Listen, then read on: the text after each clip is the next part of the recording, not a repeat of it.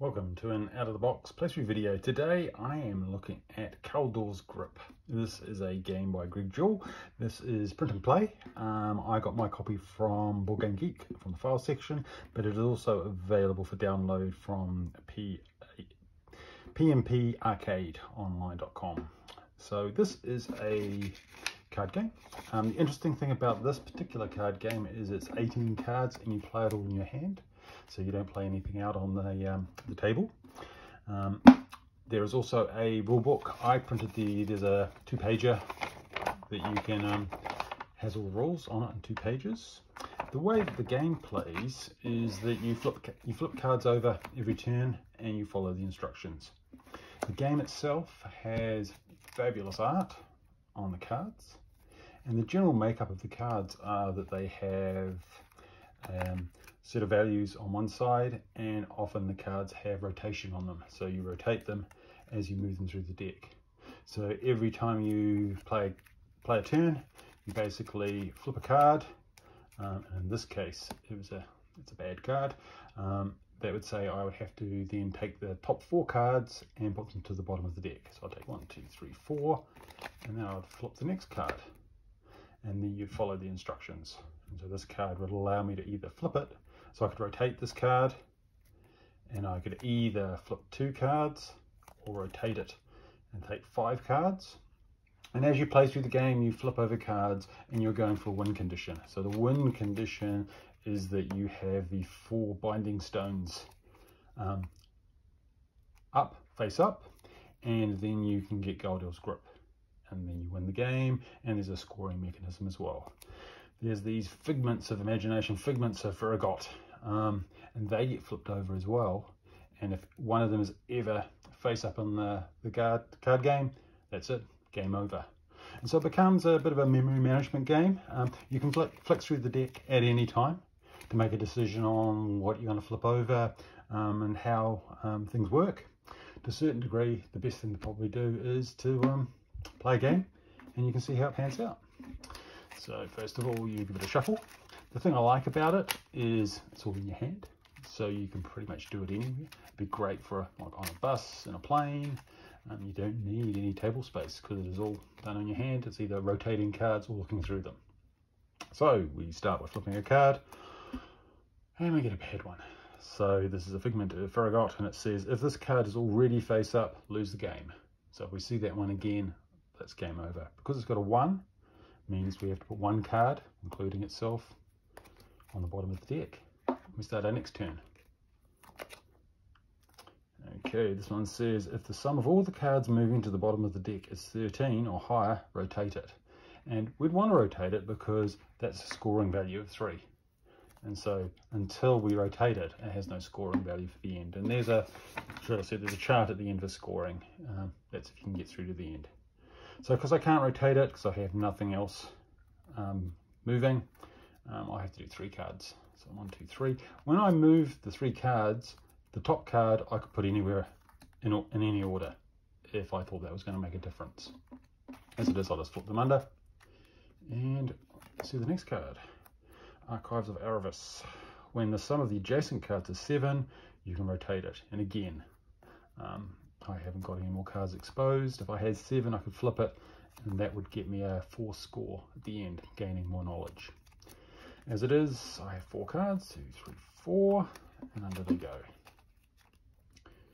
The next one, Beast Sanctum.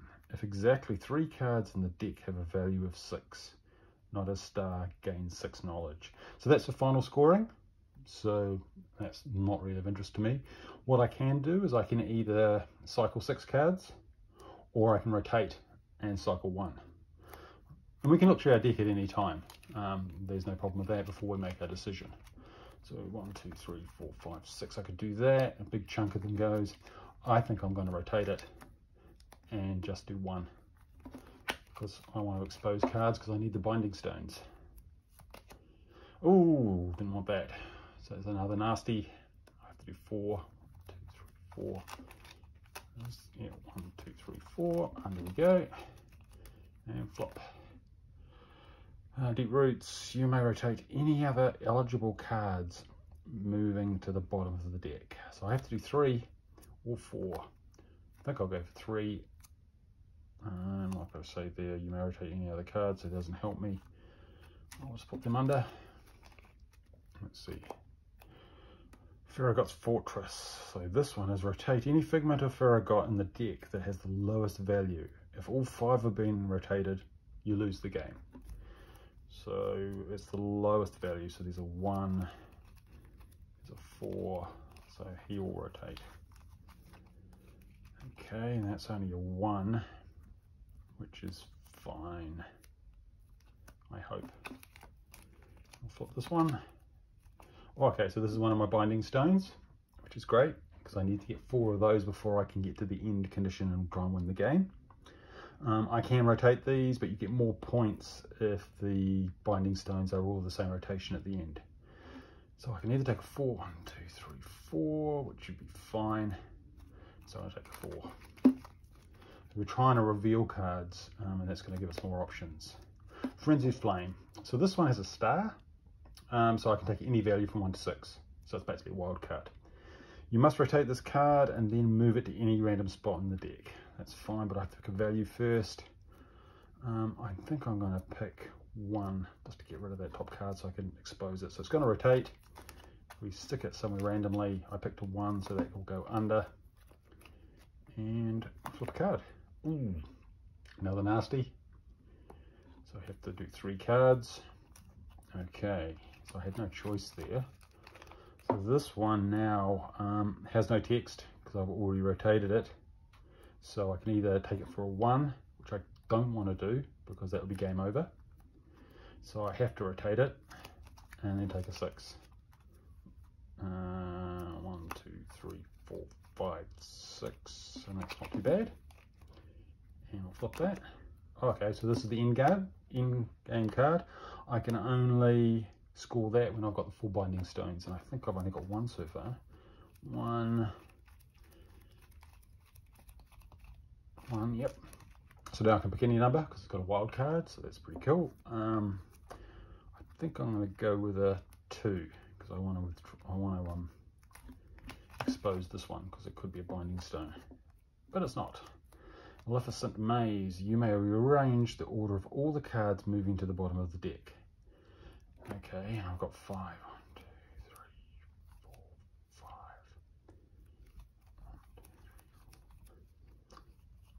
Yeah, I'm kind of happy with that. I'll leave that, it's fine. And let's flip this one. Oh, good binding stone, excellent. Um,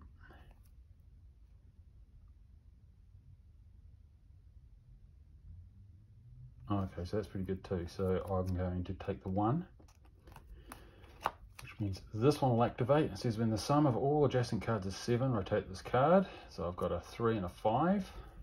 So I can rotate that card. It means I've got a scoring value and now I've got a, a wild card, which I can then say I'm going to take a two, puts those two over, and I'll flip this one. Another binding stone.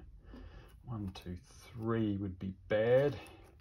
So I guess I'm going to have to flip it because I need a four because I don't want to end the game. One, two, three, four.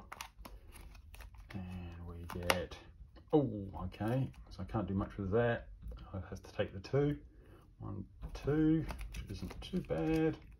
Flip this one. Ooh, this is a five. One, two, three, four, five.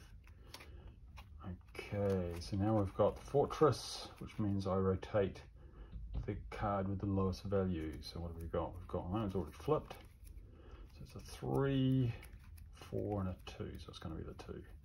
So we'll take that and then we either have a one or six. One, two, three, four, five, six.